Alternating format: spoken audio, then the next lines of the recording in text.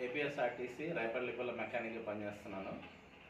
అయితే ప్రదీప్ గారి Facebook follow అవుతూ ఉన్నాను.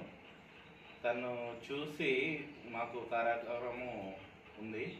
దాంట్లో నిమ్మ తోట వేసాము. అయితే బైబ్యాక్ తీసుకుందామనే ఉద్దేశంతో ఇక్కడ రావడం జరిగింది.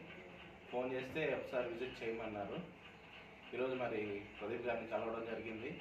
దాంట్లో ఉన్న ఇబ్బందులు క్షుణ్ణంగా తెలియపరిచారు. దాని మెయింటెనెన్స్ కాస్ట్ ఒక లక్ష రూపాయలు మనం ఇక్కడ డిపాజిట్ చేస్తే వెంటనే వాళ్ళ పిల్లలు ఇచ్చేసి పంపించేసి వాళ్ళ చేతులు కడిగేసుకోకుండా వివరంగా మరి ప్రదీప్ గారు నన్ను కూర్చోబెట్టి మరి చెప్పారు. దానిలో ఉన్న రిస్క్ దాని మెయింటెనెన్స్ అది చేయడం ఇబ్బందికరంగా ఉంటుంది అనేది. మరి దాన్ని ఇబ్బందికరంగా కాకుండా కొన్ని సలహాలు కూడా ఇచ్చి ఉన్నారు. అవి నేను గ్రహించి ఉన్నాను.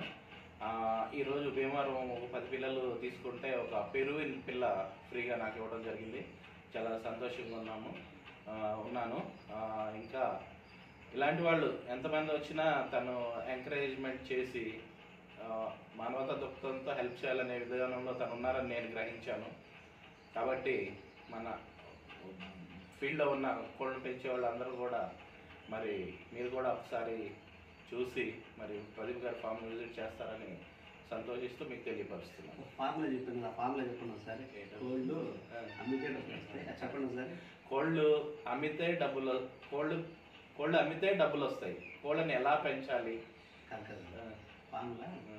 కోళ్ళు అమ్మితే డబ్బులు వస్తాయి. కోళ్ళు అమ్మితే డబ్బులు వస్తాయి. సో కోళ్ళు అమ్మాలంటే కోళ్ళు అమ్మాలంటే జనాలు రావాలి. జనాలు జనాలు వస్తే రోగాలు వస్తాయి. రోగాలు వస్తే కోళ్ళు చచ్చిపోతాయి. కోళ్ళు చచ్చిపోతే నష్టం. వస్తుంది. ఇది ఒక సిద్ధాంతం అండి ప్రదీప్ గారు సిద్ధాంతం. కాబట్టి దీంట్లో పెంచే చోట అమ్మకూడదు. పెం- పెంచే చోట అమ్మకూడదు అమ్మే చోట పెంచకూడదు. అట్లా అని చెప్పి అందరిని పిలిస్తే మనం ఫామ్కి ఆ బ్యాక్టీరియా ఫామ్ అయిపోయి పెద్ద లాస్లు జరుగుతుందని కూడా మరి ఇప్పుడు ఇక్కడ జరిగిన మీట్లో మేము గ్రహించాము. కాబట్టి అందరూ కూడా తగు జాగ్రత్తలు తీసుకొని ముందు ముందుగా మీ ఫామ్ను డెవలప్ చేసుకుంటారని ఆశిస్తున్నాను. Thank you thank you